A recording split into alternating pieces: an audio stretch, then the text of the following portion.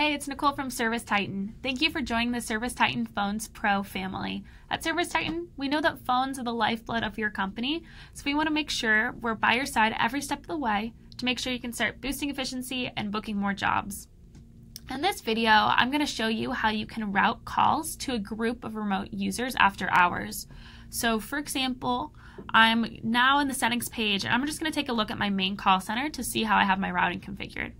So it's settings, um, these are the admin settings, the specific call center, which in my case is the main call center, scroll down to business hours and call routing.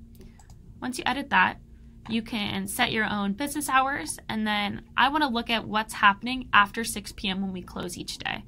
So I'll go into my close hours routing, and you have all types of options. So in this case, let's say my use case is that I want to ring um, a group of three people um, who aren't normal CSRs, let's say like a group of managers who are willing to take those after hours calls.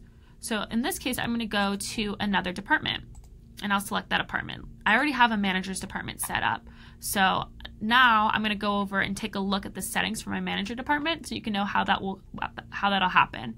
So current state we have users calling into this call center using whatever main advertised lines. It's after 6 p.m., so no CSRs are on, so we're forwarding it immediately over to managers. So let me go over and we can check out in that department what my managers looks like. So it's pretty similar to the setup for a call center, um, just a little bit less functionality.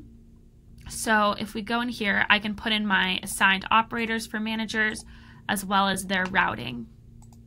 So you even have the option, I'm going to set them as 24-7 support, um, and I can give fixed order, simultaneous ring, all those managers. So now a live person can pick up that call. Um, if it, they're not available, you can set up your own fallback options within that, that specific department or group of non-CSR users. Thank you for watching. Um, if you'd like more tips and tricks from ServiceTitan, you can check out our knowledge base or reach out directly. Thank you.